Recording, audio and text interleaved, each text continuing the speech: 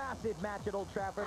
Arsenal, they get a victory. They claim the title. It's as simple as that. Freddie Ljungberg can't do it, but Sylvain Wiltord can. Yeah, Ljungberg got it going. A great ball, though. He set it all up, and Wiltord, the leapfrog of Kanu, who's just in it for the ride.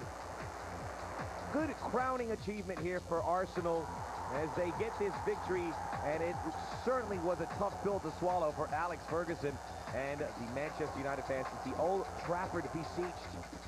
Hey, you take a look at another run here. Sylvain Wiltord sets it up. Ljungberg coming through. Good save initially from Barthez, but can't keep his France teammate Sylvain Wiltord out of the nets. A massive match, a match that saw a shift in power in England this year. Arsenal claiming the title in impressive fashion at Old Trafford. Man United in the last moment should try and mount the charge. They can't do it. And the double comes home back to North London and Highbury for the second time in the last five seasons. Arsenal claim the 2002 English Premier League title. And they get to celebrate it with that corner of Arsenal fans.